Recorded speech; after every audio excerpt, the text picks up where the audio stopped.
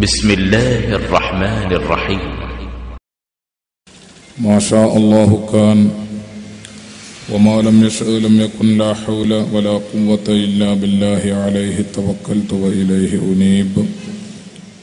ما شاء الله كان وما لم يشأ لم يكن لا حول ولا قوة إلا بالله عليه توكلت وإليه أنيب. اللهم صل على رسولك سيدنا محمد وعلى آل سيدنا محمد كما صليت وسلمت على إبراهيم وعلى آل إبراهيم وبارك على محمد وعلى آل محمد كما باركت على إبراهيم وعلى آل إبراهيم في العالمين إنك حميد مجيد. أعوذ بالله من الشيطان الرجيم. بسم الله الرحمن الرحيم. إن الذين فرقوا دينهم وكانوا شيعا لست منهم في شيء إنما أمرهم إلى الله ثم ينبئهم بما كانوا يفعلون. صدق الله مولانا العظيم وصدق وبلغ رسوله النبي الكريم. ونحن على ذلك من الشاهدين الشاكرين والحمد لله رب العالمين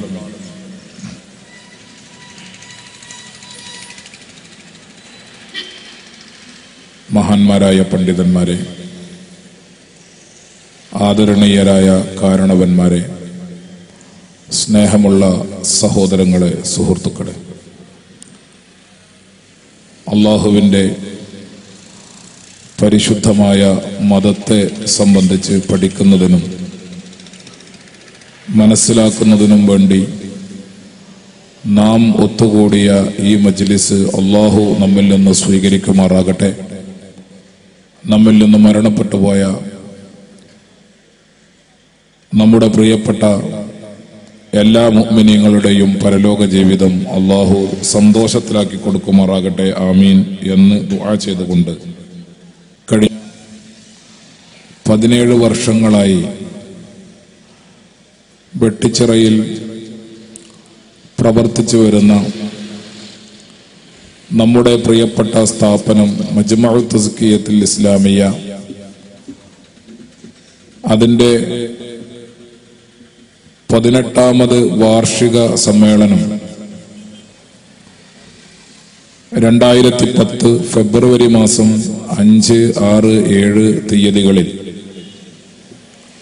വെട്ടിച്ചിറയിൽ വെച്ച് നടക്കുകയാണ്. പതിനേഴ് വർഷം മുമ്പ്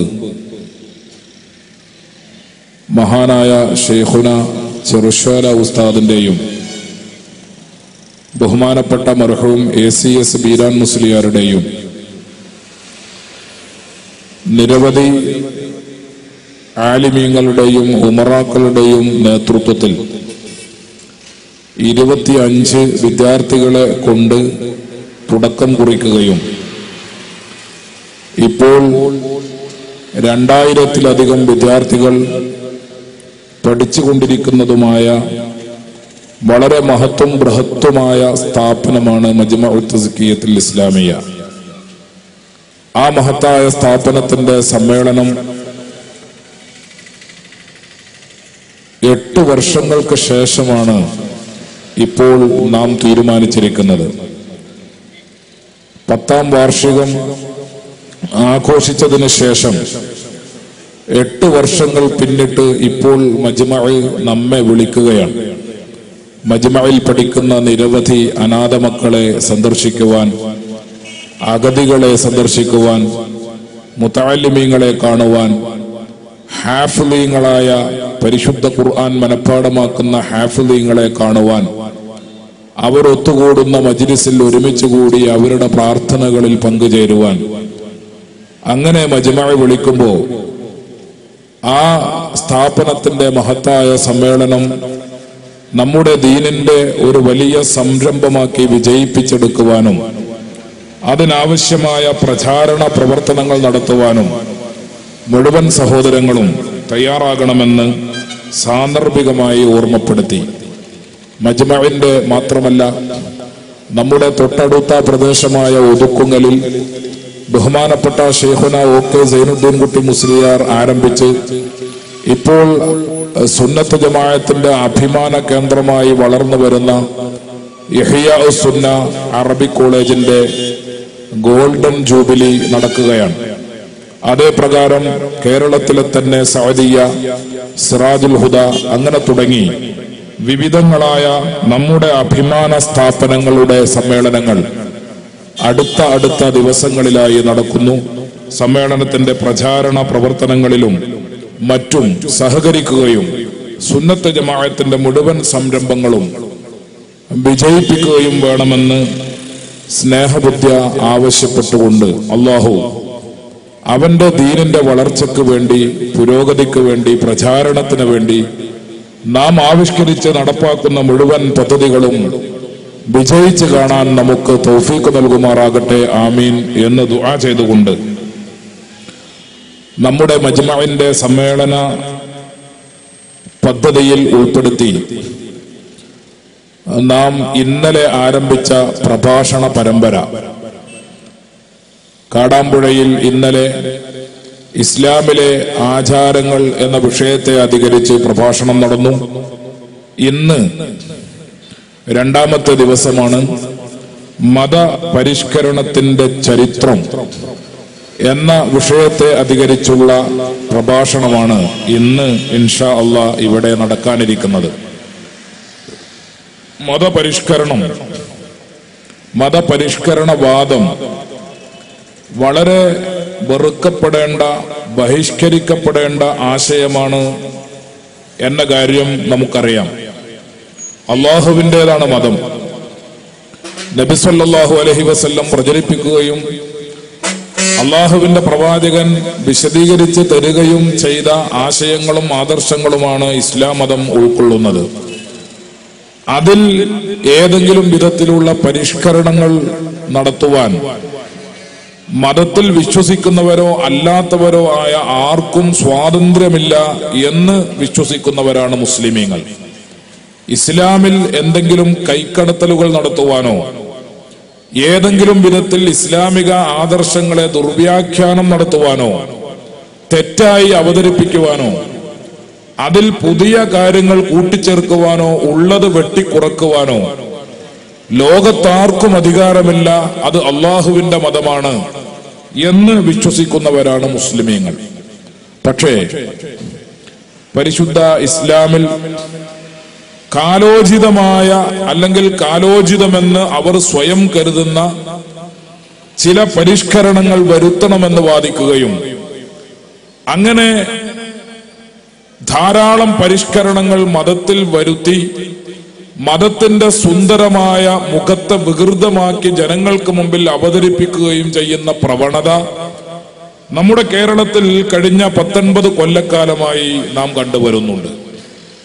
വിവിധ പേരുകളിൽ വിവിധങ്ങളായ വിലാസങ്ങളിൽ ഇസ്ലാമിനെ പരിഷ്കരിക്കുവാൻ ശ്രമിക്കുന്നവർ ഇസ്ലാമിലെ നിയമങ്ങൾ വെട്ടിച്ചുരുക്കുവാനും അതുപോലെ കൂട്ടിക്കൊടുക്കുവാനും ശ്രമിക്കുന്നവർ അവർ ജമാഅത്തെ ഇസ്ലാമി എന്ന പേരിൽ ഒരു ഭാഗത്ത് പ്രവർത്തിക്കുന്നു. മുജാഹിദ് പ്രസ്ഥാനം എന്ന പേരിൽ മറ്റൊരു ഭാഗത്ത് പ്രവർത്തിക്കുന്നു. അങ്ങനെ ഗ്രൂപ്പുകളും ഉപഗ്രൂപ്പുകളുമായി കഴിഞ്ഞ പത്തൊൻപത് കൊല്ലക്കാലമായി മത്സരബുദ്ധ്യ പരിശുദ്ധ ഇസ്ലാമിന്റെ നിയമങ്ങളെ പരിഷ്കരിക്കുവാനും ബഹൃതമാക്കുവാനും വേണ്ടി ശ്രമിക്കുന്ന പ്രവണത നാം കണ്ടുകൊണ്ടിരിക്കുന്നു കേട്ടുകൊണ്ടിരിക്കുന്നു. പലപ്പോഴും ഇവരുടെ പ്രസംഗ ശല്യങ്ങൾ ഇവരുടെ പ്രഭാഷണ ശല്യങ്ങൾ ഇവരുടെ പ്രബന്ധ ശല്യങ്ങൾ ഇവരുടെ പ്രബോധന ശല്യങ്ങൾ സഹിച്ചവരും കേട്ടവരും അനുഭവിച്ചവരുമാണ് കേരളത്തിലെ മുസ്ലിമീങ്ങൾ. അതുകൊണ്ടാണ് ഈ പ്രഭാഷണ വേദിയുടെ സംഘാടകന്മാർ മതപരിഷ്കരണവാദത്തിന്റെ ചരിത്രമെന്ത് എന്ന് മുസ്ലിമീങ്ങൾക്ക് മുമ്പിൽ പറയണമെന്നും വിശദീകരിക്കണമെന്നും തീരുമാനിച്ചിട്ടുള്ളത്. മതപരിഷ്കരണവാദം ഒരു പുതിയ സംഭവമല്ല.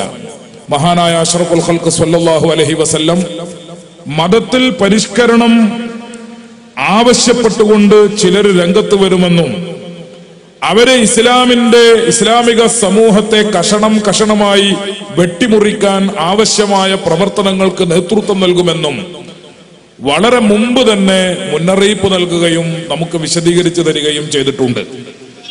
ബഹുമാനപ്പെട്ട ഇമാം തുർമുദി റിപ്പോർട്ട് ചെയ്യുന്ന ഒരു ഹദീസിൽ കാണാം. അള്ളാഹുവിന്റെ പ്രവാചകൻ പറഞ്ഞു ഉമ്മത്തി ബനി ഇസ്രായേൽ.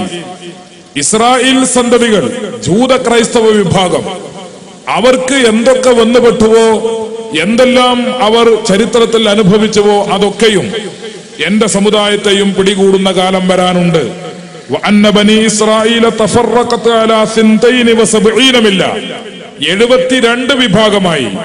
ജൂത ക്രൈസ്തവ വിഭാഗം എഴുപത്തിമൂന്ന് എഴുപത്തിരണ്ട് വിഭാഗമായി ശിഥിലീകരിക്കപ്പെട്ടു ഭിന്നിപ്പിക്കപ്പെട്ടു. കഷണം കഷണമായി ഗ്രൂപ്പുകളായി ഉപഗ്രൂപ്പുകളായി ഈ രണ്ട് മതവിഭാഗങ്ങൾ ശിഥിലീകരിക്കപ്പെട്ടെങ്കിൽ അള്ളാഹുവിന്റെ പ്രവാചകൻ പറയുന്നു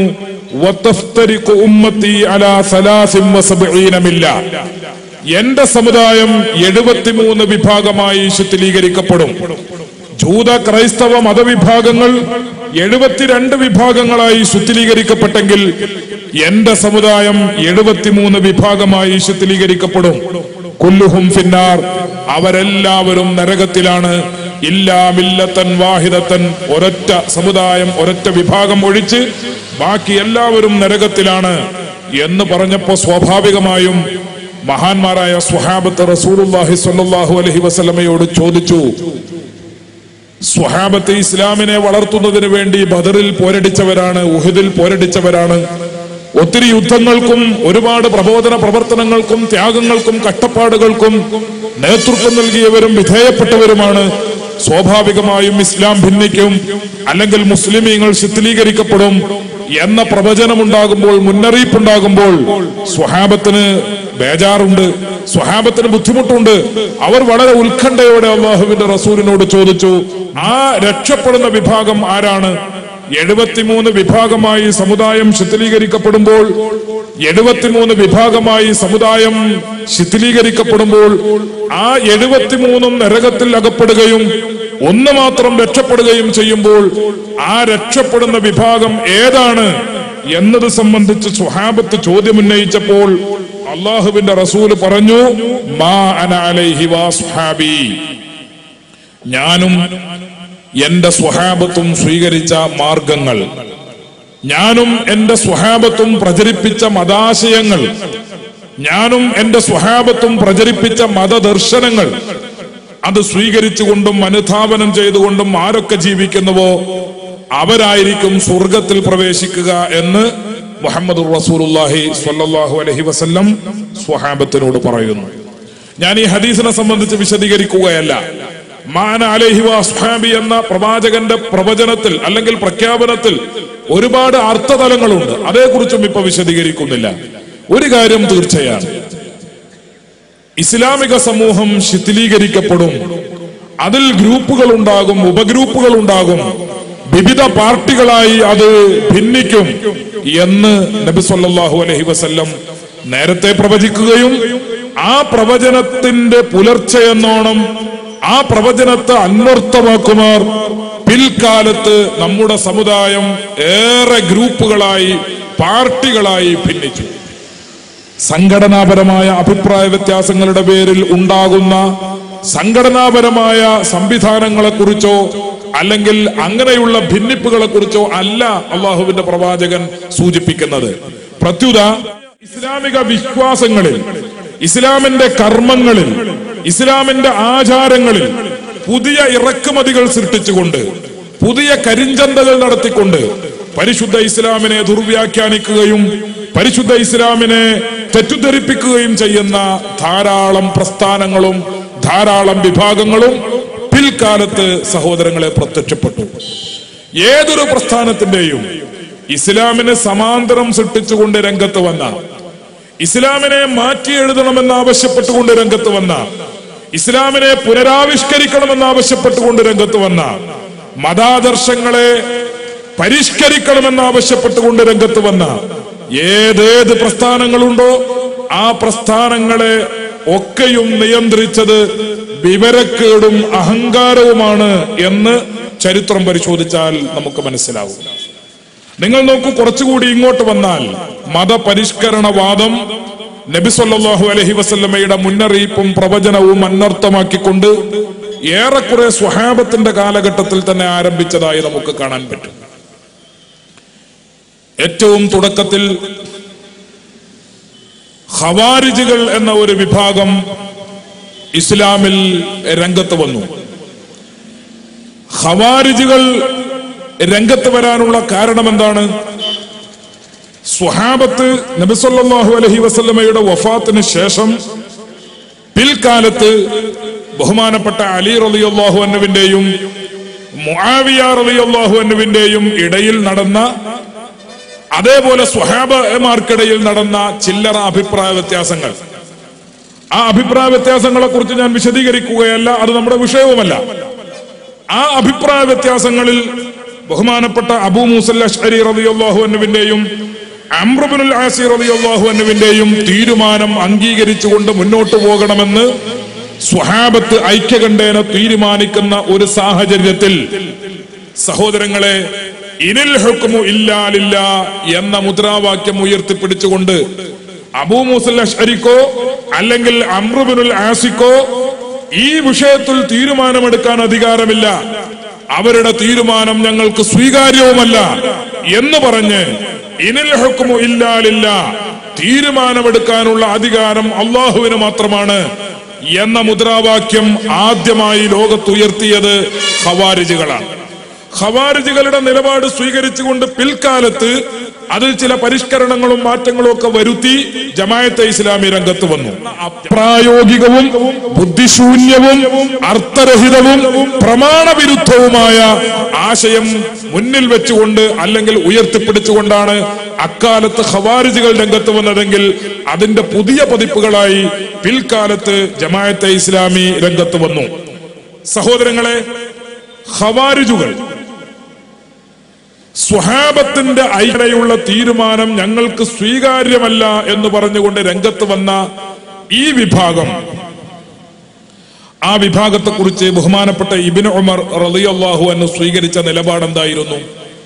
ഇസ്ലാമിക ചരിത്രത്തിൽ ആദ്യമായി പൊട്ടിപ്പുറപ്പെട്ട ഒരു മതപരിഷ്കരണ വിഭാഗം അല്ലെങ്കിൽ ഒരു പുത്തൻവാദി പ്രസ്ഥാനം ആ പ്രസ്ഥാനത്തിനെതിരെ ബഹുമാനപ്പെട്ട ഇബിൻ ഉമർ റളിയല്ലാഹു അൻഹു സ്വീകരിച്ച നിലപാടെന്തായിരുന്നു? അദ്ദേഹം പറഞ്ഞു അദ്ദേഹം അഭിപ്രായപ്പെട്ടു യറാഹും അള്ളാഹുവിന്റെ സൃഷ്ടികളിൽ ഏറ്റവും ചീത്ത വിഭാഗമാണ് ഈ പുത്തൻവാദി വിഭാഗമെന്ന് ഇബിൻ ഉമർ അഭിപ്രായപ്പെടാറുണ്ടായിരുന്നു. വക്കാല എന്ന് മാത്രമല്ല അദ്ദേഹം പ്രസ്താവിക്കുകയുണ്ടായി ഇന്നഹും ഇൻതലഖു ഇലാ ഫിൽ കുഫാരി ഫജഅലൂഹാ അലൽ മുഅ്മിനീൻ. എന്തായിരുന്നു ഇവർ സ്വീകരിച്ചിരുന്ന ഒരു ഒരു നിലപാട്? പരിശുദ്ധ ഖുർആനിൽ ഷിർക്കും കുഫറും ഖണ്ഡിച്ചുകൊണ്ട് ഒത്തിരി ആയത്തുകൾ അവതരിപ്പിക്കപ്പെട്ടിട്ടുണ്ട്. മക്കയിലെ മുഷിരിക്കുകളും അന്ന് ലോകത്തുണ്ടായിരുന്ന ഒരുപാട് ഒരുപാട് മുഷിരിക്കുകളും ബഹുദൈവ വിശ്വാസികളും അവർ സ്വീകരിച്ച നിലപാടിനെതിരെ അവരെ സ്വീകരിച്ച വിശ്വാസത്തിനെതിരെ അവരെ സ്വീകരിച്ച അന്ധവിശ്വാസങ്ങൾക്കും അനാചാരങ്ങൾക്കുമെതിരെ ഏറ്റവും കടുത്ത നിലപാടുകൾ സ്വീകരിച്ചുകൊണ്ട് അള്ളാഹുവിന്റെ ഖുർആൻ ഒരുപാട് ആയത്തുകൾ അവതരിപ്പിച്ചിട്ടുണ്ട്. ഈ ആയത്തുകൾ പെറുക്കിയെടുത്ത് തിരഞ്ഞു പിടിച്ച് അത് തൗഹീദിനും അതേപോലെ ഇസ്ലാമിക വിഷയങ്ങളിലും അടിയുറച്ച് വിശ്വസിക്കുന്ന ഇസ്ലാമിന്റെ സത്യസാക്ഷ്യ വാക്യങ്ങൾ അംഗീകരിക്കുന്ന മുസ്ലിമീങ്ങൾക്ക് മേൽ ചാർത്തുകയും അങ്ങനെ മുഷിരിക്കുകൾക്കെതിരെ ബഹുദൈവ വിശ്വാസികൾക്കെതിരെ അവതരിപ്പിക്കപ്പെട്ട പ്രമാണങ്ങളും രേഖകളും അത് മുസ്ലിമീങ്ങൾക്ക് മേൽ അവതരിപ്പിച്ച് മുസ്ലിമീങ്ങൾ കാഫറുകളാണ് അവർ ബഹുദൈവ വിശ്വാസികളാണ് എന്ന് വരുത്തി തീർക്കുന്ന പ്രചാരണ പ്രവർത്തനങ്ങൾ അത് ലോകത്താദ്യമായി പൊട്ടിപ്പുറപ്പെട്ട ഖവാരിജുകൾ എന്ന പുത്തൻവാദി പ്രസ്ഥാനം സ്വീകരിച്ച നിലപാടായിരുന്നു. അതേ നിലപാട് തന്നെ പിൽക്കാലത്ത് ജമായത്തെ ഇസ്ലാമിയും അതേപോലെ മുജാഹിദ് വിഭാഗവും സ്വീകരിച്ചതായി നമുക്ക് കാണാൻ പറ്റും. മക്കയിലെ മുഷിരിക്കുകളുടെ ബഹുദൈവ വിശ്വാസങ്ങളെ ഖണ്ഡിച്ചുകൊണ്ടും വിമർശിച്ചുകൊണ്ടും അതിനെ ബഹിഷ്കരിക്കണമെന്ന് ആഹ്വാനം ചെയ്തുകൊണ്ടും അള്ളാഹുവിന്റെ ഖുർആാനിൽ വന്നിട്ടുള്ള ആയത്തുകൾ അത് മുസ്ലിമീങ്ങൾക്ക് മേൽ ചാർത്തുകയും അങ്ങനെ മുസ്ലിമീങ്ങൾ മക്കയിലെ മുഷിരിക്കുകളെ പോലെ അല്ലെങ്കിൽ മക്കയിലെ മുഷിരിക്കുകളെക്കാൾ ഒരുപടി മുന്നിൽ അവർ മുഷിരിക്കുകളാണ് അവർ ബഹുദൈവ വിശ്വാസികളാണ് എന്ന് നിർലജ്ജം പ്രചരിപ്പിക്കുന്ന ദുഷ്പ്രവണത കേരളത്തിലെ മുജാഹിദിന്റെയും ജമായത്തെ ഇസ്ലാമിയുടെയും പ്രവർത്തനങ്ങളിൽ നാം നിരന്തരം കണ്ടുകൊണ്ടിരിക്കുന്നു. ബഹുമാനപ്പെട്ട ഇമാം സ്വാവി റഹ്മത്തുല്ലാഹി അലേഹി അദ്ദേഹത്തിന്റെ ഖുർആൻ വ്യാഖ്യാന ഗ്രന്ഥത്തിൽ ഈ വിഷയം പച്ചയായി പറഞ്ഞിട്ടുണ്ട്.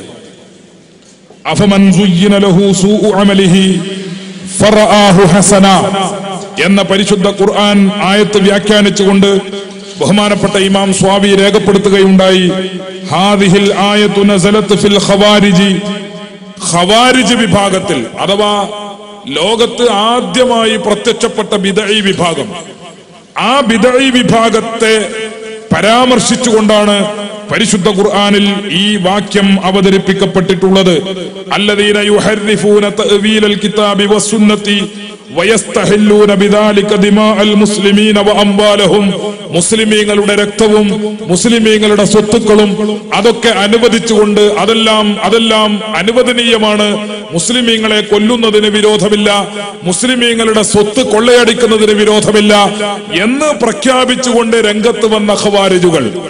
ആ ഖവാരിജുകളെ പരാമർശിച്ചുകൊണ്ടാണ് ഈ ഖുർആൻ വാക്യം അവതരിപ്പിക്കപ്പെട്ടത് എന്ന് പറഞ്ഞ ശേഷം ഇമാം സ്വാബി റഹ്മത്തുള്ളാഹി അലൈഹി വിശദീകരിക്കുന്നു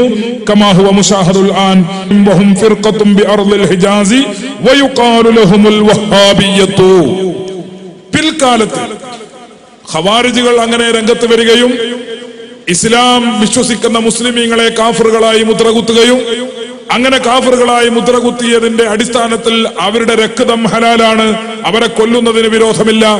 അവരുടെ സ്വത്തുക്കൾ അനുവദനീയമാണ്. അത് കൊള്ളയടിക്കുന്നതിന് വിരോധമില്ല. എന്ന് ഖവാരിജുകൾ പ്രചരിപ്പിക്കുകയും അവർ അത് പ്രാവർത്തികമാക്കുകയും ചെയ്തെങ്കിൽ പിൽക്കാലത്ത് ഇബിനു അബ്ദുൽ വഹാബിന്റെ നേതൃത്വത്തിൽ രംഗത്ത് വന്ന വഹാബികൾ എന്നറിയപ്പെടുന്ന വിഭാഗം അവരും ഇതേ പ്രവണത തന്നെ തുടർന്നതായി താൻ ബഹുമാനപ്പെട്ട ഇമാം സ്വാമി തന്റെ തന്റെ തഫ്സീർ ഗ്രന്ഥത്തിൽ സഹോദരങ്ങളെ വിശദീകരിക്കുന്നു. അദ്ദേഹം പറയുന്നു യഹ്സബൂന അന്നഹും അലാ ഇന്നഹും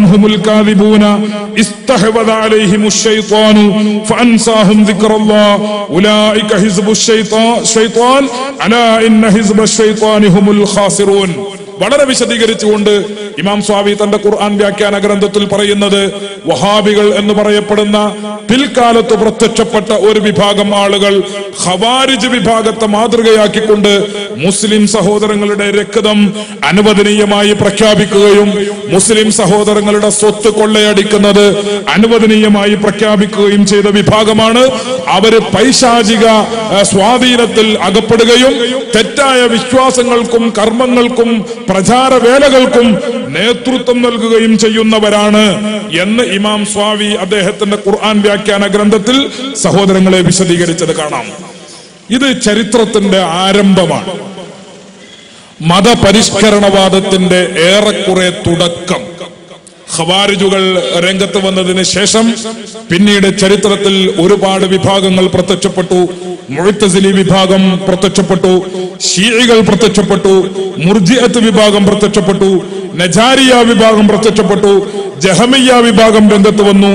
കറാമിയ വിഭാഗം രംഗത്ത് വന്നു. അങ്ങനെ ഗ്രൂപ്പുകളും ഉപഗ്രൂപ്പുകളുമായി അള്ളാഹുവിന്റെ പ്രവാചകൻ പ്രവചിച്ചതുപോലെ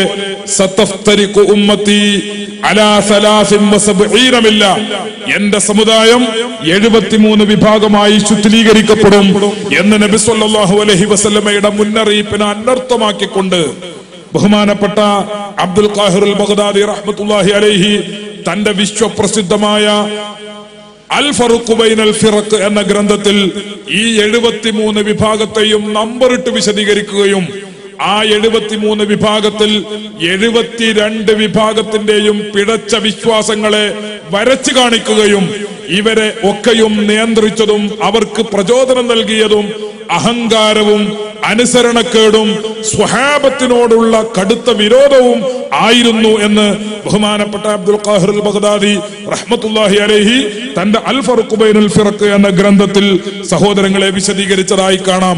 ഇങ്ങനെ പത്തെഴുപത്തിരണ്ട് വിഭാഗങ്ങൾ ഇസ്ലാമിനെ സമാന്തരം സൃഷ്ടിച്ചുകൊണ്ട് രംഗത്ത് വന്നപ്പോൾ അതിനെതിരെ ശക്തമായി പോരാടി അവർക്കെതിരെ ശക്തമായ ഗ്രന്ഥങ്ങൾ രചിച്ച് പ്രബോധന പ്രവർത്തനങ്ങൾക്ക് നേതൃത്വം നൽകിയ മഹാനായ വ്യക്തിയാണ് ബഹുമാനപ്പെട്ട ഇമാം അഷ്അരി റഹ്മത്തുല്ലാഹി അലൈ. ഇമാം അഷ്അരി റഹ്മത്തുല്ലാഹി അലൈഹി തന്റെ ഗുരുവര്യൻ കൂടിയായിരുന്ന ജുബായിക്കെതിരെ അദ്ദേഹത്തിന്റെ തെറ്റായ ആശയങ്ങൾക്കെതിരെ തെറ്റായ നിലപാടുകൾക്കെതിരെ വാള്യങ്ങൾ വരുന്ന വിപുലമായ ഗ്രന്ഥങ്ങൾ തന്നെ രചിക്കുകയുണ്ടായി. വർഷങ്ങളോളം തന്റെ ഗുരുവര്യൻ പ്രചരിപ്പിച്ച തെറ്റായ ആശയങ്ങൾക്കെതിരെ അദ്ദേഹം നിലപാട് സ്വീകരിക്കുകയും പ്രബോധന പ്രവർത്തനങ്ങൾക്ക് നേതൃത്വം നൽകുകയും ചെയ്തു. ഇമാം അഷ്അരിയുടെ പ്രബോധന പ്രവർത്തനങ്ങളോട് ആ കാലഘട്ടത്തിൽ രംഗത്ത് വന്ന മുഴുവൻ പിഴച്ച വിശ്വാസങ്ങളെയും അടിച്ചമർത്തുകയും ജനമനസ്സുകളിൽ ആ വിശ്വാസങ്ങളോട് വെറുപ്പും അറപ്പും ഉണ്ടാക്കുവാൻ ബഹുമാനപ്പെട്ട ഇമാം അഷ്അരിയുടെ പ്രബോധന പ്രവർത്തനങ്ങൾക്ക് സാധിച്ചു.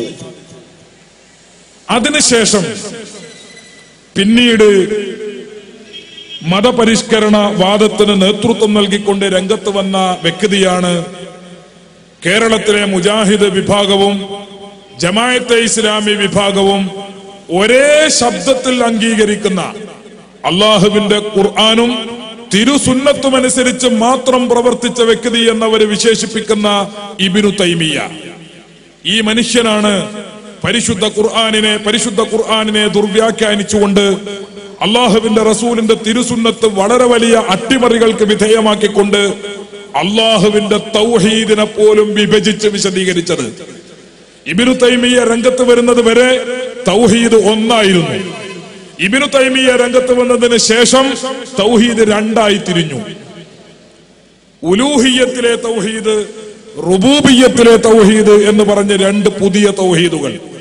എന്തിനായിരുന്നു തൗഹീദിനെ വിഭജിച്ചത്? തൗഹീദിനെ വിഭജിച്ചതിന്റെ പിന്നിൽ ഗൂഢമായ ഒരു ലക്ഷ്യമുണ്ടായിരുന്നു. ലോകത്ത് ജീവിക്കുന്ന മുസ്ലിമീങ്ങളെല്ലാവരും കാഫറുകളാണ് മുഷിരിക്കുകളാണ് എന്ന് സമർത്ഥിക്കലായിരുന്നു ഇബിന് തൈമിയയുടെ ലക്ഷ്യം. ഉലൂഹിയത്തിൽ ശിർക്ക് വെക്കുന്നവരാണ് ലോകത്തുള്ള മുസ്ലിമീങ്ങൾ. മക്കയിലെ മുഷിരിക്കുകൾ അള്ളാഹു മാത്രമാണ് റബ്ബ് എന്ന് അംഗീകരിച്ചിരുന്നു. അള്ളാഹുവാണ് ഭക്ഷണം നൽകുന്നവനെന്ന് അംഗീകരിച്ചിരുന്നു. അതേപോലെ ലോകത്തും കേരളത്തിലുമുള്ള മുസ്ലിമീങ്ങൾ അള്ളാഹുവാണ് റബ്ബ് എന്ന് അംഗീകരിക്കുന്നു. അതേസമയം മക്കയിലെ മുഷിരിക്കുകൾക്ക് സംഭവിച്ച അബദ്ധം എന്തായിരുന്നു? അവർ റബ്ബ് അള്ളാഹുവാണ് എന്ന് വിശ്വസിക്കുമ്പോൾ തന്നെ അവർ ഇലാഹ് ഒന്നിലധികം ഉണ്ടെന്ന് വിശ്വസിച്ചു. ഒന്നിലധികം ഇലാഹുകൾ ഉണ്ടെന്ന് മക്കയിലെ മുഷരിക്കുകൾ വിശ്വസിച്ചിരുന്നു. അതേപോലെ ലോകത്തുള്ള കേരളത്തിലുള്ള മുസ്ലിമീങ്ങൾ ഒന്നിലധികം ഇലാഹുകളിൽ വിശ്വസിക്കുന്നു. ഇതായിരുന്നു ഇബിനു തൈമിയയുടെ വാദം. അതിനെ തുടർന്ന് പിൽക്കാലത്ത് മുജാഹിദിന്റെയും ജമായത്തെ ഇസ്ലാമിയുടെയും വാദം. ഒന്നിലധികം ഇലാഹുകളിൽ ലോകത്തുള്ള മുസ്ലിമീങ്ങൾ വിശ്വസിക്കുന്നു കേരളത്തിലെ മുസ്ലിമീങ്ങൾ വിശ്വസിക്കുന്നു. സഹോദരങ്ങളെ അർത്ഥരഹിതമായ പ്രമാണവിരുദ്ധമായ അടിസ്ഥാനരഹിതമായ ഈ വാദത്തെക്കുറിച്ച് ഞാൻ വിശദീകരിക്കുന്നില്ല. പക്ഷെ ഒരു കാര്യം ഞാൻ പറയാം. ഇബിനു തൈമിയ തുടങ്ങി വെച്ച ഒരു പ്രവണത. ആ പ്രവണത പിൽക്കാലത്ത് മുജാഹിദുകൾ വളരെ ഗംഭീരമായി തുടർന്നു. അല്ലാഹുവല്ലാത്ത കുറെ ഇലാഹുകളിൽ മുസ്ലിമീങ്ങൾ വിശ്വസിക്കുന്നു എന്ന വാദം നാഴികക്ക് നാൽപ്പത് വട്ടം തെരുവ് തോറും പ്രസംഗിക്കുന്നവരാണ് ഇപ്പോഴും മുജാഹിദുകൾ. അല്ലാഹുവല്ലാത്ത വേറെയും കുറെ ദൈവങ്ങളിൽ മുസ്ലിമീങ്ങൾ വിശ്വസിക്കുന്നു. മുഹിയദ്ദീൻ ഷെയ്ഖ് ദൈവമാണ്. ബദരീങ്ങൾ ഒരുപാട് ദൈവങ്ങളാണ്. അങ്ങനെ ഒത്തിരി ഇലാഹുകളിൽ അള്ളാഹുവിന് പുറമെ ഇലാഹുകളിൽ വിശ്വസിക്കുന്നവരാണ്. മുസ്ലിമീങ്ങൾ എന്ന അടിസ്ഥാനരഹിതമായ പ്രമാണവിരുദ്ധമായ മനസാക്ഷിക്ക് നിരക്കാത്ത വാദം കണ്ണിൽ ചോരയില്ലാത്ത വിധം നിർലജ്ജം ഇപ്പോഴും പ്രചരിപ്പിക്കുന്നവരാണ് കേരളത്തിലെ മുജാഹിദുകൾ ജമാഅത്തെ ഇസ്ലാമിയും. എന്ന് മാത്രമല്ല പരിശുദ്ധ ഇസ്ലാമിന്റെ തൗഹീദിനെ വിഭജിക്കുന്ന ഈ പ്രവണത അടുത്ത കാലം വരെ ഇബിനു തൈമിയയുടെ മാർഗം സ്വീകരിച്ചുകൊണ്ട് കേരളത്തിലെ മുജാഹിദുകൾ സ്വീകരിച്ചിരുന്ന നിലപാടെന്തായിരുന്നു? തൗഹീദ് രണ്ടാണ്. ഒന്ന് ഉലൂഹിയത്തിലെ തൗഹീദ് മറ്റൊന്ന് റുബൂബിയത്തിലെ തൗഹീദ്. ഇപ്പോൾ രണ്ടായിരത്തി ആറിൽ കേരളത്തിലെ മുജാഹിദ് നേതൃത്വം അവരുടെ പണ്ഡിത സഭ എന്ന് വിളിക്കപ്പെടുന്ന മൗലവി കൂട്ടം യോഗം ചേർന്ന് ഒരു പുതിയ തീരുമാനം കൈക്കൊള്ളുകയുണ്ടായി. അതെന്തായിരുന്നു? ഈ കാലമത്രയും ഇബിനു തൈമിയയെ തക്ലീദ് ചെയ്തുകൊണ്ട് രണ്ട് വിധം തൗഹീദുകളായിരുന്നു നാം പഠിപ്പിച്ചിരുന്നത്. ഒന്ന് നേരത്തെ സൂചിപ്പിച്ച ഉലൂഹിയത്തിലെ തൗഹീദും മറ്റൊന്ന് റുബൂബിയത്തിലെ തൗഹീദും. ഇത് രണ്ടുമായിരുന്നു ഈ കാലം വരെ നാം പഠിപ്പിച്ചിരുന്നത്. എന്നാൽ ഈ യോഗത്തിൽ വെച്ച് തൗഹീദിന് മൂന്നാമത്തെ ഒരു ഭാഗം കൂടി ഉണ്ടെന്ന് നാം തീരുമാനിക്കുന്നു. വത്തിക്കാനിൽ നിന്ന് അച്ഛന്മാരുടെ പ്രസ്താവന പോലെ. വത്തിക്കാനിൽ നിന്ന് പോപ്പുമാര് യോഗം കൂടി നടത്തുന്ന ഒരു പ്രസ്താവനക്ക് സമാനം. കുംഭസാരക്കൂട്ടിൽ ഇതുവരെ നാം ചൊല്ലിയിരുന്ന മന്ത്രങ്ങൾ ഇന്നതൊക്കെയായിരുന്നു. ഇനി അടുത്ത വർഷം മുതൽ കുംഭസാരക്കൂട്ടിൽ വെച്ച് ചൊല്ലേണ്ട മന്ത്രങ്ങൾ ഇന്നതൊക്കെയാണ് എന്ന് വത്തിക്കാനിൽ നിന്ന് അച്ഛന്മാര് വിശദീകരിച്ച് പ്രസ്താവിക്കുന്നത് പോലെ. അതിനെ അനുസ്മരിക്കുമാർ നമ്മുടെ മൗലവിക്കൂട്ടം പറയുകയാണ് ഇന്നലെ വരെ നാം പഠിപ്പിച്ചിരുന്നത് രണ്ട് തൗഹീദായിരുന്നു. ഇനി മുതൽക്ക് നാം മൂന്ന് തൗഹീദിനെ സ്വീകരിക്കണം. എന്ന് മാത്രമല്ല നമ്മുടെ മദ്രസകളിലും അറബി കോളേജുകളിലും ഇനി മുതൽ ഈ മൂന്നാമത്തെ തൗഹീദ് കൂടി പഠിപ്പിക്കുകയും വേണം. ഏതായിരുന്നു മൂന്നാമത്തെ തൗഹീദ്? തൗഹീദുൽ അസ്മാഇ വസ്സിഫാത്ത് ഞാനത് വിശദീകരിക്കുന്നില്ല അതെന്റെ വിഷയമല്ല. തൗഹീദുൽ അസ്മായി വസ്സിഫാത്ത് എന്ന പേരിൽ ഒരു തൗഹീദ് കൂടി മുജാഹിദുകൾ അവതരിപ്പിച്ചു. അങ്ങനെ തൗഹീദിനെ മൂന്നാക്കി. ഇബിനു തൈമിയ തൗഹീദിനെ രണ്ടായി അവതരിപ്പിച്ചപ്പോൾ ഒരു പടി കൂടി മുന്നോട്ട് കടന്ന് ശിഷ്യന്മാർ തൗഹീദ് മൂന്നായി ചിത്രീകരിച്ചു. ഇപ്പോൾ മുജാഹിദിന്റെ മദ്രസയിൽ പഠിപ്പിക്കപ്പെടുന്നത് മൂന്ന് തൗഹീദുകളാണ്. അവരുടെ അറബി കോളേജുകളിൽ പഠിപ്പിക്കപ്പെടുന്നത് മൂന്ന് തൗഹീദുകളാണ്. ഈ പ്രവണതയ്ക്ക് തുടക്കം കുറിച്ചുകൊണ്ടാണ് മതപരിഷ്കരണവാദത്തിന്റെ രണ്ടാം ഘട്ട ചരിത്രം ആരംഭിക്കുന്നത്. ഒന്നാം ഘട്ടത്തിൽ ഹവാരിജ് മുതൽക്ക് ആരംഭിക്കുന്ന ആ ചരിത്രം അത് കടന്നു വന്ന് കടന്നു വന്ന് അതിനെ നുള്ളിക്കളഞ്ഞുകൊണ്ടും അടിസ്ഥാനപരമായി നശിപ്പിച്ചുകൊണ്ടും ബഹുമാനപ്പെട്ട ഇമാം അഷ്ഹരി അദ്ദേഹത്തിന്റെ പ്രബോധന പ്രവർത്തന വിപ്ലവത്തിന് നേതൃത്വം നൽകിയപ്പോൾ അതൊക്കെയും കെട്ടുപോകുന്ന ചരിത്രം വളരെ ആവേശത്തോടെ ചരിത്ര ഗ്രന്ഥങ്ങളിൽ നാം വായിക്കുന്നു. ഇപ്പൊ ലോകത്തിന്റെ ഏതൊക്കെയോ മുക്കുകളിൽ മൂലകളിലും കുറച്ച് പൊട്ടും പൊടിയും ഒക്കെ അവശേഷിക്കുന്നു എന്നത് ഒഴിച്ചാൽ അങ്ങനെ വിതഴികളുടെ പഴയകാല വിതഴികളുടെ ഒന്നും ഇപ്പൊ അവശേഷിക്കുന്നില്ലെന്ന് പറയാം. പക്ഷെ അതിന്റെ വാലും തലയുമായി പരിഷ്കരിച്ച രൂപങ്ങൾ ജമായത്തെ ഇസ്ലാമി എന്ന പേരിലും മുജാഹിദ് എന്ന പേരിലും അതുപോലെ ഒട്ടു വളരെ പേരുകളിലും സഹോദരങ്ങളെ ഇപ്പോഴും പ്രവർത്തിച്ചു കൊണ്ടിരിക്കുന്നു ആ പ്രവർത്തനങ്ങൾക്ക് പിൽക്കാലത്ത് തുടക്കം കുറിച്ചത് ഇബിനു തൈമിയയാണ്. പിന്നീട് ആ പ്രവർത്തനങ്ങൾക്ക് കുറച്ചുകൂടി വ്യാപ്തി നൽകിക്കൊണ്ട് കുറച്ചുകൂടി അത് വിപുലീകരിച്ചുകൊണ്ട് രംഗത്ത് വന്ന ചരിത്രത്തിൽ അറിയപ്പെട്ട മൂന്ന് വ്യക്തികളുണ്ട്. ജമാലുദ്ദീൻ അഫ്ഗാനി മുഹമ്മദ് അബ്ദു റഷീദ് റിദ. ഈ മൂന്നാളുകൾ ചരിത്രത്തിൽ പിന്നീട് മതപരിഷ്കരണവാദത്തിന് പുതിയ രൂപം നൽകിയ ആളുകളാണ്. നമ്മുടെ കേരളത്തിൽ ഇന്ന് പ്രചരിപ്പിക്കപ്പെട്ടുകൊണ്ടിരിക്കുന്ന മുജാഹിദാശയങ്ങൾ പുത്തൻ വാദങ്ങൾ അതൊക്കെയും വാസ്തവത്തിൽ ഇറക്കുമതി ചെയ്യപ്പെട്ടത് ഈജിപ്തിൽ നിന്നായിരുന്നു. ഈജിപ്തിൽ നിന്നും ഇറക്കുമതി ചെയ്യപ്പെട്ട ഈ ആശയങ്ങളുടെ വക്താക്കളും അതിന്റെ പ്രയോക്താക്കളും അതിന്റെ പ്രചാരകരും വാസ്തവത്തിൽ ജമാലുദ്ദീൻ അഫ്ഗാനിയും അതുപോലെ മുഹമ്മദ് അബ്ദുവും റഷീദ് റിതയുമായിരുന്നു മുജാഹിദിനെ കുറിച്ച് പഠിക്കുമ്പോൾ ജമാഅത്തെ ഇസ്ലാമിയെ കുറിച്ച് പഠിക്കുമ്പോൾ ആ ആശയങ്ങൾക്ക് ജന്മം നൽകിയ ഈ മൂന്ന് ആളുകളെ സംബന്ധിച്ച് നമ്മൾ വിശദമായി പഠിക്കണം. ഓർക്കണം. ഇത് പഠിച്ചാൽ നിരവധി പ്രസംഗങ്ങളും നിരവധി പ്രഭാഷണങ്ങളും കേൾക്കുന്നതിന് അത് തുല്യമാണ്. മുജാഹിദിന്റെയും ജമാഅത്തെ ഇസ്ലാമിയുടെയും ആകർഷകമായ വാചാലമായ ഇസ്ലാമിനെ ഒരുപക്ഷെ കൈക്കുമ്പിളിൽ പിടിച്ച് അവതരിപ്പിക്കുന്ന ഈ വാചാലത. ഈ വാചാലത എവിടെ നിന്നാണ് വരുന്നത്? ഇതിന്റെ തുടക്കം എവിടെ നിന്നാണ്? മുജാഹിദ് ആശയം എവിടെ നിന്നാണ് ഇറക്കുമതി ചെയ്യപ്പെടുന്നത്? ജമാഅത്തെ ഇസ്ലാമിയുടെ സിദ്ധാന്തങ്ങൾ എവിടെ നിന്നാണ് ഇറക്കുമതി ചെയ്യപ്പെടുന്നത്? ഈ രണ്ട് വിഭാഗവും ഒരു പക്ഷേ അങ്ങേയറ്റം സ്വഹാബത്തിനേക്കാൾ കൂടുതൽ അവർ ബഹുമാനിക്കുകയും ആദരിക്കുകയും ചെയ്യുന്ന വ്യക്തികളാണ് ജമാലുദ്ദീൻ അഫ്ഗാനി മുഹമ്മദ് അബ്ദു റഷീദ് റിള എന്ന് പറയുന്ന മൂന്ന് ആളുകൾ. ഇവരിൽ ഒന്നാമനാണ് ജമാലുദ്ദീൻ അഫ്ഗാനി. ഈ ജമാലുദ്ദീൻ അഫ്ഗാനിയെ കുറിച്ച് ഒരുപാട് പറയണം. പക്ഷെ നമുക്ക് രണ്ട് മണിക്കൂർ സമയമാണ്. നാം പ്രഭാഷണത്തിന് വേണ്ടി തിരഞ്ഞെടുത്തിട്ടുള്ള സമയം. അതുകൊണ്ട് വളരെ ചുരുക്കി ഞാൻ ഒരു കാര്യം പറയാം. ജമാലുദ്ദീൻ അഫ്ഗാനിയുടെ ഏറ്റവും പ്രധാനപ്പെട്ട അദ്ദേഹത്തിന്റെ ഒരു ന്യൂനത അദ്ദേഹം സർവമത സത്യവാദിയായിരുന്നു. സർവമത സത്യവാദി. എല്ലാ മതങ്ങളും സത്യമാണ്. ഏത് മതം സ്വീകരിച്ചുകൊണ്ടും ആളുകൾക്ക് ജീവിക്കാം എന്ന് വാദിക്കുന്ന വ്യക്തിയായിരുന്നു ജമാലുദ്ദീൻ അഫ്ഗാനി. ഈ ജമാലുദ്ദീൻ അഫ്ഗാനിയാണ് മുജാഹിദ് പ്രസ്ഥാനത്തിന് ഊടും പാവും നൽകിയ മുഴുവൻ ആശയങ്ങളുടെയും പിതാവ് എന്ന് എന്റെ പ്രിയപ്പെട്ട സഹോദരങ്ങൾ മനസ്സിലാക്കണം. ജമായത്തെ ജമായത്തെ ഇസ്ലാമിയും മുജാഹിദും ഇന്ന് പറഞ്ഞുകൊണ്ടിരിക്കുന്ന ആശയങ്ങൾക്കൊക്കെയും അതിന് പ്രചോദനം നൽകിയത് അതിന് ഊടും പാവും നൽകിയത് ജമാലുദ്ദീൻ അഫ്ഗാനിയായിരുന്നു. അദ്ദേഹം സർവമത സത്യവാദിയായിരുന്നു. ഇസ്ലാമിന് ഒരിക്കലും അംഗീകരിക്കാൻ സാധിക്കാത്ത മുസ്ലിമീങ്ങൾക്ക് ഒരിക്കലും പിന്തുണക്കാൻ സാധിക്കാത്ത സർവമത സത്യവാദം എന്ന അപകടകരമായ നിലപാട് സ്വീകരിച്ചുകൊണ്ടാണ് ജമാലുദ്ദീൻ അഫ്ഗാനി അദ്ദേഹത്തിന്റെ പ്രചാരണ പ്രവർത്തനങ്ങൾക്ക് നേതൃത്വം നൽകിയത്.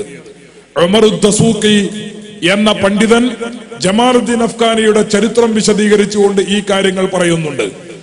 ഞാനത് വിശദീകരിക്കുന്നില്ല. ജമാലുദ്ദീൻ അഫ്ഗാനി ഒരിക്കൽ അദ്ദേഹം ആലോചിച്ചു. എന്താണ് ലോകത്ത് മനുഷ്യർക്കിടയിൽ ഇത്രയും അഭിപ്രായ വ്യത്യാസങ്ങൾ ഉണ്ടാകാൻ കാരണം? ഭിന്നിപ്പും അനൈക്യവും മുസ്ലിം സമുദായത്തിൽ മാത്രമല്ല ലോകത്ത് മനുഷ്യർക്കിടയിലൊക്കെയും ഇങ്ങനെ അനൈക്യവും ശിഥിലീകരണവും ഭിന്നിപ്പും ഉണ്ടാകാൻ എന്താണ് കാരണമെന്ന് അദ്ദേഹം ചിന്തിച്ചു. ഫീ ഫീ അഹമ്മി മാ ഫീഹി യഖ്തലിഫൂന. ജനങ്ങളെ അഭിപ്രായ വ്യത്യാസം പ്രകടിപ്പിക്കുന്ന അവർ അനയിക്കപ്പെടുന്ന കാര്യം എന്താണ് എന്ന് അദ്ദേഹം ആലോചിച്ചു. ആലോചിച്ചപ്പോൾ അദ്ദേഹം കണ്ടെത്തിയത് ജനങ്ങൾ അഭിപ്രായ ഭിന്നതയിലും അനൈക്യത്തിലും അകപ്പെടാനുള്ള കാരണം മതമാണ്. മതവിശ്വാസമാണ് ജനങ്ങളെ ഭിന്നിപ്പിക്കുന്നത് എന്ന് അദ്ദേഹം കണ്ടെത്തുകയും ഒടുവിൽ അദ്ദേഹം തന്റെ നിലപാടിനെ സംബന്ധിച്ച് വിശദീകരിക്കുന്നു. ഞാനൊരു മൂന്ന് മതത്തെ പരിശോധിച്ചു. ലോകത്ത് ഏറ്റവും പ്രധാനപ്പെട്ട മൂന്ന് മതങ്ങൾ. ആ മൂന്ന് മതങ്ങളെ ഞാൻ പഠനത്തിന് വേണ്ടി തെരഞ്ഞെടുത്തു.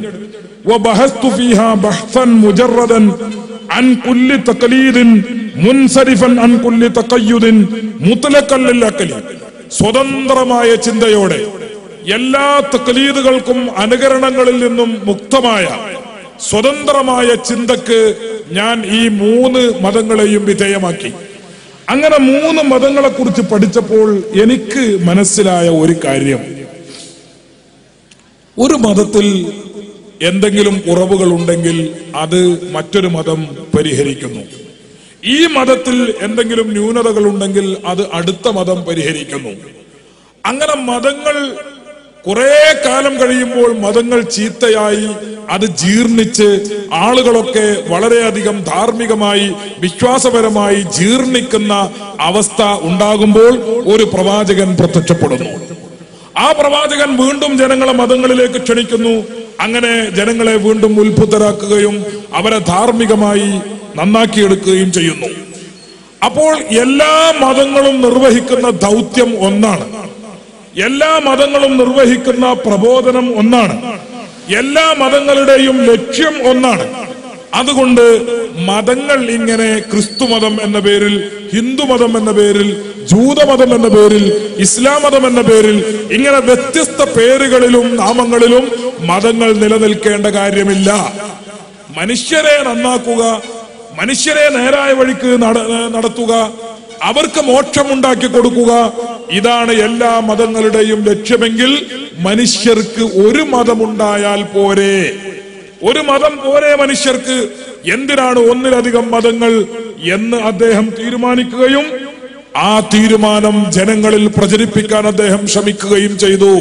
പക്ഷേ ആ കാലഘട്ടത്തിൽ ഈജിപ്തിലും അതുപോലെ പരിസര പ്രദേശങ്ങളിലും നിലവിലുണ്ടായിരുന്ന ഭരണകൂടങ്ങൾ ജമാലുദ്ദീൻ അഫ്ഗാനിക്കെതിരെ കടുത്ത നിലപാടുകൾ സ്വീകരിക്കുകയും മുസ്ലിം സമൂഹം അദ്ദേഹത്തെ ബഹിഷ്കരിക്കുകയും ചെയ്തു എന്ന് ഉമറുദ്ദസൂക്കി അദ്ദേഹത്തിന്റെ ഫിൽ അദബിൽ ഹദീസ് എന്ന ഗ്രന്ഥത്തിൽ ഫിൽ അദബിൽ ഹദീസ് എന്ന ഗ്രന്ഥത്തിൽ ഡോക്ടർ ഉമറുദ്ദസൂക്കി അതിന്റെ ഇരുന്നൂറ്റി എഴുപത്തി അഞ്ചാമത്തെ പേജിൽ വളരെ വിശദമായി പറഞ്ഞുകൊണ്ട് അദ്ദേഹം പറയുന്നു സർവമത സത്യവാദത്തിന് വേണ്ടി ജമാലുദ്ദീൻ അഫ്ഗാനി നിലകൊള്ളുകയും പക്ഷേ അത് പ്രചരിപ്പിക്കുന്നതിൽ നിന്ന് ഭരണകൂടം അദ്ദേഹത്തെ തടയുകയും ലോകത്തുള്ള മുഴുവൻ മുസ്ലിമീങ്ങളും മുസ്ലിം പണ്ഡിതന്മാരും ജമാലുദ്ദീൻ അഫ്ഗാനിക്കെതിരെ രംഗത്ത് വരികയും അദ്ദേഹത്തെ ബഹിഷ്കരിക്കുവാൻ ആഹ്വാനം നടത്തുകയും ചെയ്തു.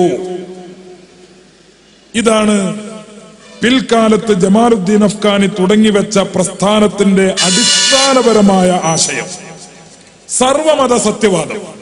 സഹോദരങ്ങളെ ഈ സർവമത സത്യവാദം പ്രചരിപ്പിച്ചുകൊണ്ടാണ് കേരളത്തിൽ ഇന്നും മുജാഹിദുകൾ പ്രവർത്തിച്ചു കൊണ്ടിരിക്കുന്നത് കേരളത്തിലെ മുജാഹിദ് വിഭാഗം ഇപ്പോഴും സർവമത സത്യവാദത്തിന്റെ വക്താക്കളാണ്. ഉള്ളിൽ പരോക്ഷമായി ഇക്കാലം വരെയും പ്രചരിപ്പിക്കപ്പെട്ടിരുന്ന ഈ കാര്യം അകത്ത് വളരെ അടിയുറച്ച് വിശ്വസിക്കപ്പെട്ടിരുന്ന ഈ കാര്യം. കേരളത്തിലെ മുജാഹിദ് മൗലവിമാർ വിചാരിക്കാതെ തന്നെ പിൽക്കാലത്ത് പുറത്തു വന്നു. സർവമത സത്യവാദത്തിന് വേണ്ടി വാദിച്ചുകൊണ്ടും പ്രബന്ധം രചിച്ചുകൊണ്ടും രംഗത്ത് വന്ന ഒരു വ്യക്തിക്കെതിരെ അദ്ദേഹത്തെ വിമർശിക്കാനെന്ന രൂപത്തിൽ പ്രബന്ധം തയ്യാറാക്കിയ മുജാഹിദ് മൗലവിമാർ അത് പെട്ടത് സർവമത സത്യവാദത്തിലാണ്. നോക്കൂ നിങ്ങൾ കേരളത്തിൽ പ്രസിദ്ധീകരിക്കപ്പെടുന്ന മുജാഹിദുകളുടെ ശബാബ് വാരിക. ഈ ശബാബ് വാരികയിൽ അതിന്റെ പത്രാധിപഗോളത്തിൽ തന്നെ രണ്ടായിരത്തി ഒമ്പത് ജൂൺ മാസത്തിൽ പ്രസിദ്ധീകരിക്കപ്പെട്ട ഈ ശബാബ് വാരികയിൽ പറയുന്നത് എന്നാൽ മുസ്ലിം സമുദായത്തിൽ അംഗമാവുകയും സാമുദായിക ചട്ടക്കൂടിനകത്ത് ജീവിക്കുകയും ചെയ്താൽ മാത്രമേ മോക്ഷം ലഭിക്കൂ എന്ന ധാരണയെ ഈ സൂക്തങ്ങൾ നിരാകരിക്കുന്നു എന്ന യാഥാർത്ഥ്യം വിസ്മരിക്കാവുന്നതല്ല. ഒരാൾ ഏത് സമുദായത്തിൽ ജനിച്ചവനാണെങ്കിലും ഏത് സമുദായത്തിന്റെ ഭാഗമായി അറിയപ്പെടുന്നവനാണെങ്കിലും പ്രപഞ്ചനാഥനെ മാത്രമാണ് ആരാധിക്കുകയും പ്രാർത്ഥിക്കുകയും ചെയ്യുന്നതെങ്കിൽ അവന് മോക്ഷം ലഭിക്കാം. അവൻ സ്വർഗാവകാശിയാകാം.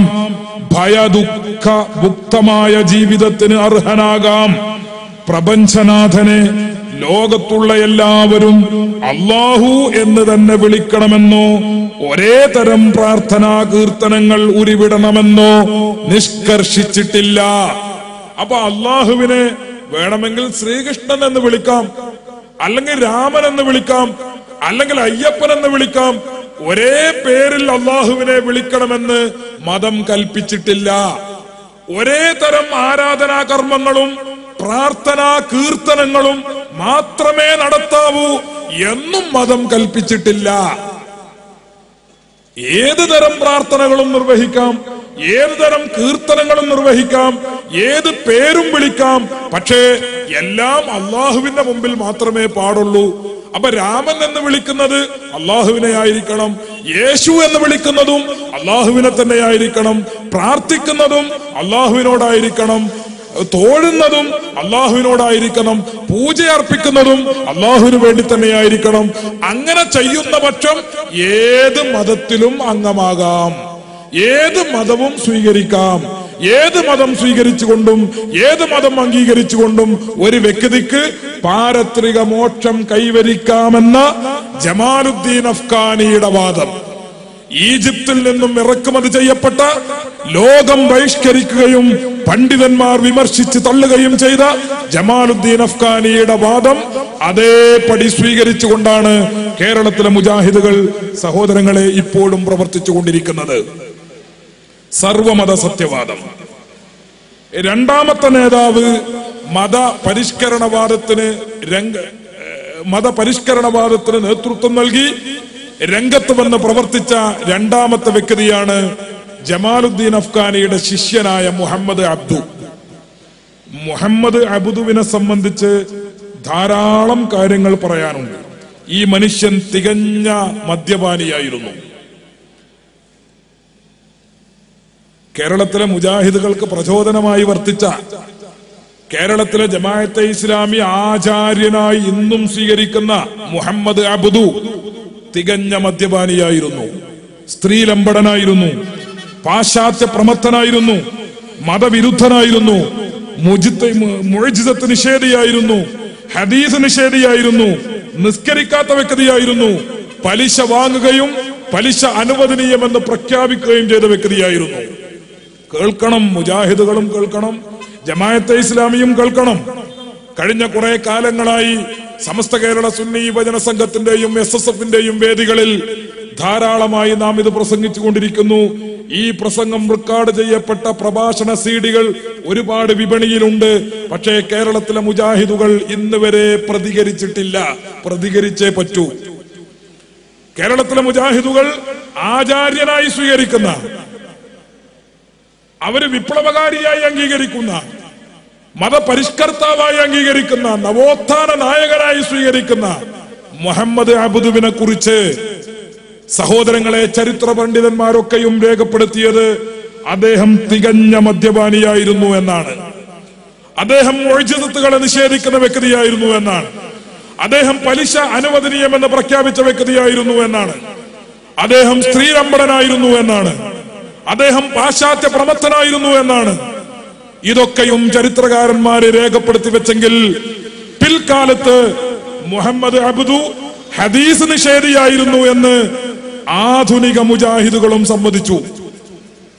ഇപ്പോൾ പ്രസിദ്ധീകരിക്കപ്പെട്ട പ്രസിദ്ധീകരണങ്ങളിലൊക്കെയും മുഹമ്മദ് അബ്ദു വലിയ വിപ്ലവകാരിയായിരുന്നെങ്കിലും അദ്ദേഹം ഇസ്ലാമിക പ്രബോധന നവോത്ഥാന രംഗത്ത് വളരെ വലിയ സംഭാവനകൾ അർപ്പിച്ച വ്യക്തിയാണെന്ന് സമ്മതിക്കുമ്പോൾ തന്നെയും മുഹമ്മദ് അബ്ദു അള്ളാഹുവിന്റെ റസൂലിന്റെ ഹദീസുകൾ നിഷേധിച്ച വ്യക്തിയായിരുന്നു എന്ന് ആധുനിക വർത്തമാനകാല മുജാഹിദ് പണ്ഡിതന്മാർ പ്രബന്ധമുണ്ടാക്കി ലേഖനമെഴുതി. ഞാനത് വായിച്ചു കൽപ്പിക്കാം അതിനു മുമ്പ് മുഹമ്മദ് അബ്ദുവിനെ കുറിച്ച് അദ്ദേഹത്തിന്റെ കാലത്ത് തന്നെ ജീവിച്ച് ഇസ്ലാമിക പ്രബോധന പ്രവർത്തന രംഗത്ത് നേതൃത്വം നൽകിയ ബഹുമാനപ്പെട്ട അല്ലാമ യൂസുഫുൻ നബ്ഹാനി റഹ്മത്തുല്ലാഹി അലേഹി. അദ്ദേഹം മുഹമ്മദ് അബുദുവിനെ സംബന്ധിച്ച് ധാരാളം കവിതകൾ ചൊല്ലി ചരിത്ര കവിതകൾ. ആ കവിതകളിൽ അദ്ദേഹം പറയുന്ന വളരെ ഞെട്ടിപ്പിക്കുന്ന കുറെ സത്യങ്ങളുണ്ട്. മുഹമ്മദ് അബുദുവിനെ കുറിച്ച് ബഹുമാനപ്പെട്ട യൂസുഫ് നബുഹാനി റഹ്മത്തുല്ലാഹി അലഹി വിശദീകരിക്കുന്നത്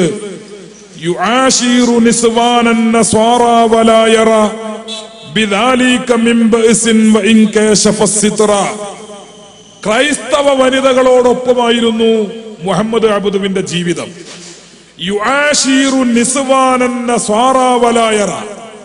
ക്രൈസ്തവ വനിതകളോടൊപ്പം ഇടപഴകിക്കൊണ്ട് ജീവിക്കുകയായിരുന്നു മുഹമ്മദ് അബുദു. മാത്രമല്ല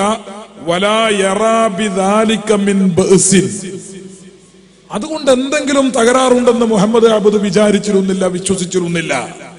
വൈൻ കശഫ സിത്ര അത് നഗ്നരായിക്കൊണ്ടാണെങ്കിലും തുണിയഴിച്ച നസറാണി പെണ്ണുങ്ങളോടൊപ്പം വസ്ത്രമഴിച്ചിട്ട നസറാണി പെണ്ണുങ്ങളോടൊപ്പം നഗ്നരായ നസറാണി പെണ്ണുങ്ങളോടൊപ്പം ഇടപഴകുന്നത് സംബന്ധിച്ച് എന്തെങ്കിലും തെറ്റോ കുറ്റമോ കുറ്റബോധമോ മുഹമ്മദ് അബുദുവിനുണ്ടായിരുന്നില്ല അദ്ദേഹം നസറാണി പെണ്ണുങ്ങളോടൊപ്പം ക്രൈസ്തവ വനിതകളോടൊപ്പം ഇടപഴകിക്കൊണ്ട് ജീവിച്ച വ്യക്തിയായിരുന്നു എന്ന് അല്ലാമ യൂസുഫ് നബ്ഹാനി രേഖപ്പെടുത്തുന്നു.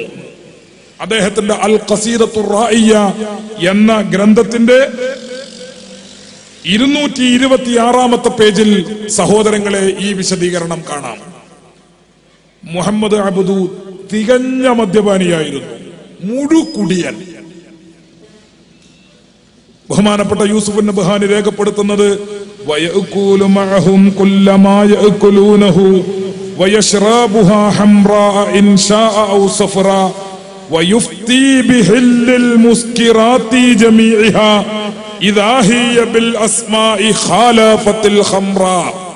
യൂസുഫ് നബുഹാനി പറയുന്നു വയക്കുലുമാഹും ഈ നസറാണി പെണ്ണുങ്ങളോടൊപ്പം ഇദ്ദേഹം ഭക്ഷിക്കുമായിരുന്നു കുല്ലമായ കുലൂനഹു അവരെന്തൊക്കെ തിന്നും? അതൊക്കെ ഇയാളും തിന്നു.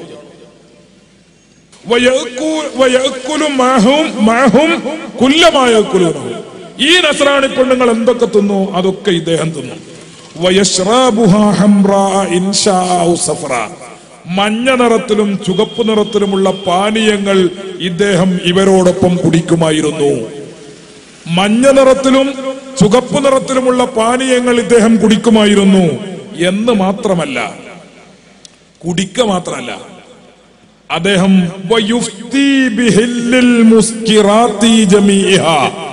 എല്ലാ ലഹരി പാനീയങ്ങളും അനുവദനീയമാണെന്ന് അദ്ദേഹം ഫത്വ പുറപ്പെടുവിച്ചിരുന്നു വയുഫ്തി മുഹമ്മദ് അബുദ് ഫത്വ കൊടുത്തിരുന്നു. മുസ്കിറാത്തി. എല്ലാ ലഹരി പാനീയങ്ങളും അനുവദനീയമാണ് എന്ന് അദ്ദേഹം ഫത്വ പുറപ്പെടുവിച്ചിരുന്നു. എപ്പോ?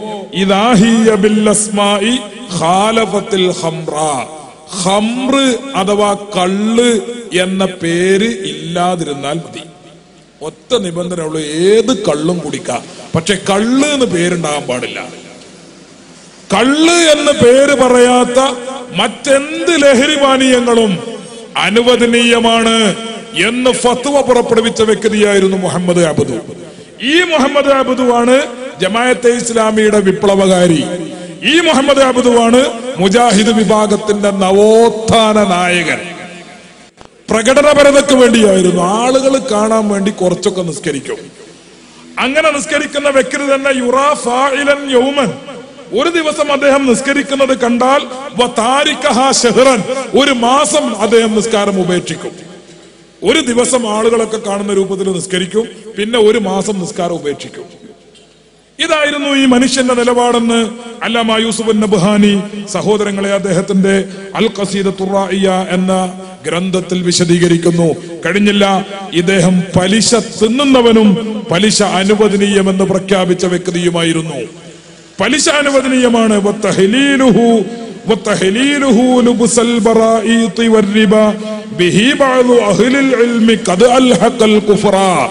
ബഹുമാനപ്പെട്ട യൂസുഫ് ബുഹാനി പറഞ്ഞു ഈ മനുഷ്യൻ പട്ടുവസ്ത്രം ധരിക്കുമായിരുന്നു. ഇസ്ലാമിൽ ഹറാമാണ് പട്ടുവസ്ത്രം ധരിക്കൽ.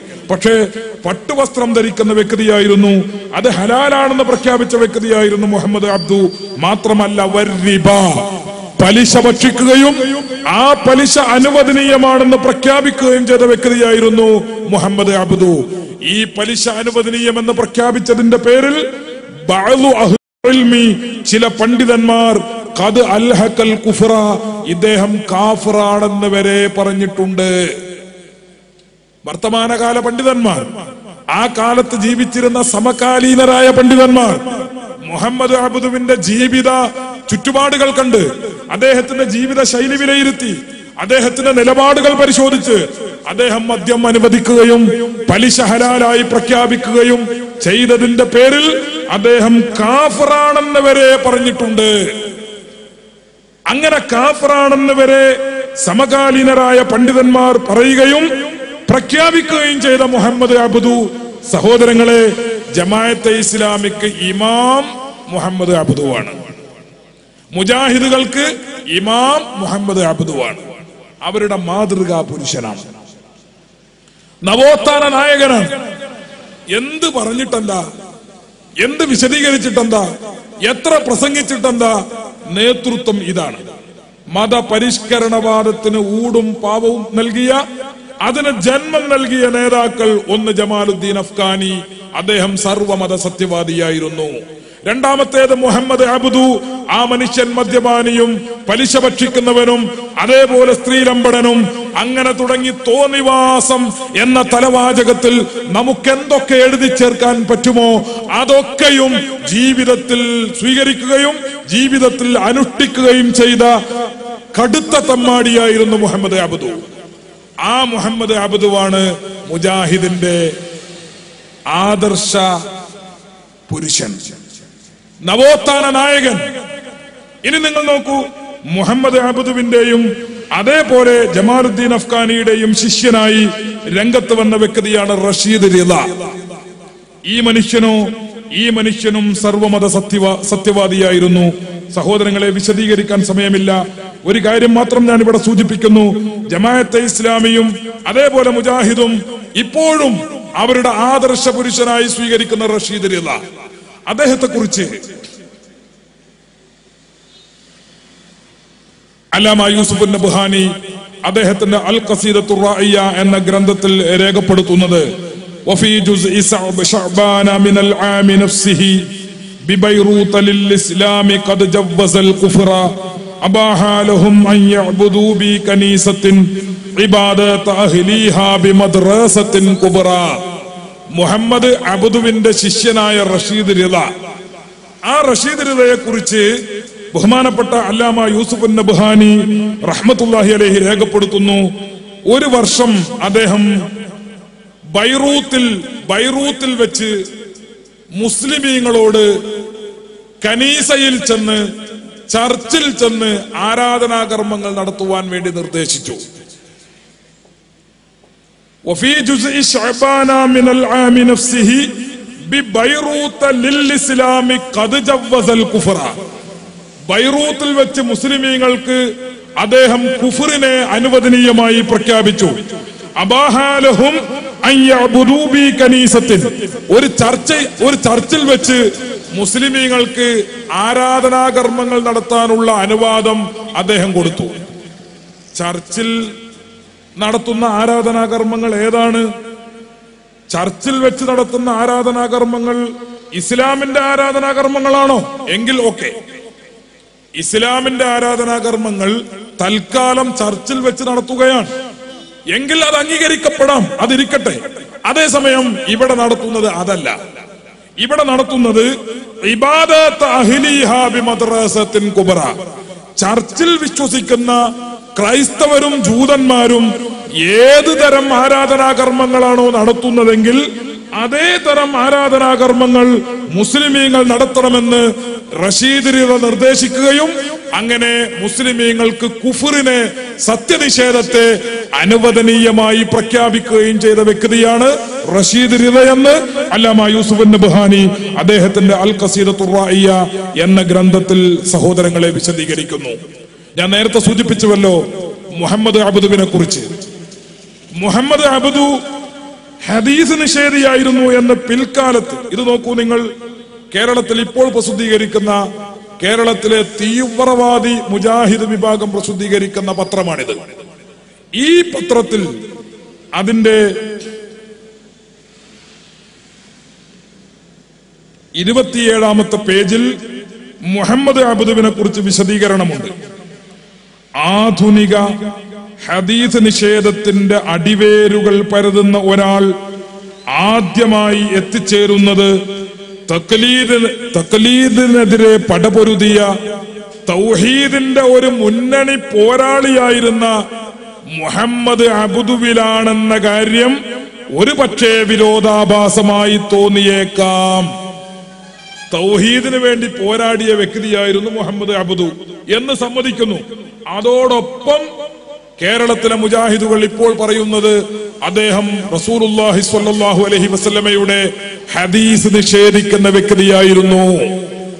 അള്ളാഹുവിന്റെ റസൂലിന്റെ ഹദീസ് നിഷേധിക്കുന്ന വ്യക്തി എങ്ങനെയാണ് സഹോദരങ്ങളെ തൗഹീദിനു വേണ്ടി പോരാടുക? അദ്ദേഹം എങ്ങനെയാണ് മുസ്ലിം ആവുക അള്ളാഹുവിന്റെ റസൂലിനെ ഹദീസിനെ നിഷേധിച്ചു കഴിഞ്ഞാൽ ആൾ കാഫറായി പോകില്ലേ? എന്നാൽ അദ്ദേഹം കാഫറാണെന്ന് സമ്മതിക്കുന്നില്ലെന്ന് മാത്രമല്ല അദ്ദേഹത്തിന് എന്തെങ്കിലും തെറ്റോ കുറ്റമോ ഉണ്ടെന്ന് സമ്മതിക്കുന്നില്ലെന്ന് മാത്രമല്ല അദ്ദേഹത്തിന്റെ അദ്ദേഹത്തെ തൗഹീദിന്റെ ഉറച്ച വക്താവായും തൗഹീദിന്റെ പ്രചാരകനായും അവതരിപ്പിച്ചുകൊണ്ട് മുജാഹിദുകൾ പറയുന്നു അദ്ദേഹം ഹദീസ് നിഷേധിയായിരുന്നു. അപ്പൊ തൗഹീദിൽ നിന്നുകൊണ്ട് തന്നെ ഹദീസിനെ നിഷേധിക്കാമെന്നാണോ മുജാഹിദുകൾ പറയുന്നത്? ഒരാൾക്ക് മുവഹീദാകാം ഒരാൾക്ക് തൗഹീദ് സ്വീകരിക്കാം ആ തൗഹീദിനെ പ്രചരിപ്പിക്കാം അതിന്റെ മുന്നണി പോരാളിയാകാം അതോടൊപ്പം അള്ളാഹുവിന്റെ റസൂലിന്റെ ഹദീസൊക്കെയും നിഷേധിക്കുകയും ചെയ്യാം. ഇതെങ്ങനെ? അങ്ങനെയുണ്ടോ? ഹദീസിനെ നിഷേധിച്ചുകൊണ്ട് എങ്ങനെ തൗഹീദിന്റെ ആളാകും? ഖുർആാനിനെ നിഷേധിച്ചുകൊണ്ട് എങ്ങനെ തൗഹീദിന്റെ ആളാകും? അള്ളാഹുവിന്റെ റസൂലിന്റെ സുന്നത്തിനെ തള്ളി പറഞ്ഞുകൊണ്ട് എങ്ങനെയാണ് സഹോദരങ്ങളെ തൗഹീദിന്റെ വക്താവുക വാസ്തവത്തിൽ മുഹമ്മദ് അബുദുവിന്റെ കാര്യത്തിലല്ല വിരോധാഭാസം തോന്നുന്നത്. പിന്നെയോ അദ്ദേഹത്തെ പൊക്കിപ്പിടിക്കുകയും അദ്ദേഹം തൗഹീദിന്റെ വക്താവാണെന്ന് പ്രചരിപ്പിക്കുകയും മുന്നണി പോരാളിയായി അദ്ദേഹത്തെ ചിത്രീകരിക്കുകയും ചെയ്യുമ്പോൾ തന്നെ ആ മനുഷ്യൻ അള്ളാഹുവിന്റെ റസൂലിന്റെ ഹദീസ് നിഷേധിച്ച വ്യക്തിയായിരുന്നു എന്ന് പറയുന്ന കേരളത്തിലെ മുജാഹിദുകളുടെ കാര്യത്തിലാണ് വിരോധാഭാസം. ഹദീസ് നിഷേധിക്കുന്ന വ്യക്തി ഒരിക്കലും പിന്നീട് തൗഹീദിന്റെ മുന്നണി പോരാളിയാവുകയില്ല. ഖുർആാനിനെ നിഷേധിക്കുന്ന വ്യക്തി പിന്നീട് ഒരിക്കലും തൗഹീദിന്റെ മുന്നണി പോരാളിയാവുകയില്ല. ഹദീസിനെ നിഷേധിക്കുമ്പോൾ തന്നെ ഈ മനുഷ്യൻ തൗഹീദിന്റെ മുന്നണി പോരാളിയായിരുന്നു എന്നാണ് കേരളത്തിലെ മുജാഹിദുകൾ പറഞ്ഞുകൊണ്ടിരിക്കുന്നത്. ഇത് വൈരുദ്ധ്യമാണ് എന്ന് മാത്രമല്ല ഏതൊരു സാധാരണ ബുദ്ധിക്കും മനസ്സിലാകാത്ത കാര്യമാണ്.